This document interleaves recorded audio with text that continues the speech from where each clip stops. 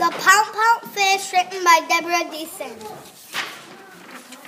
Miss Clam lost her pearl. She was sad. Mr. Fish looked for a pearl on a pearl. Miss Shimmer helps him.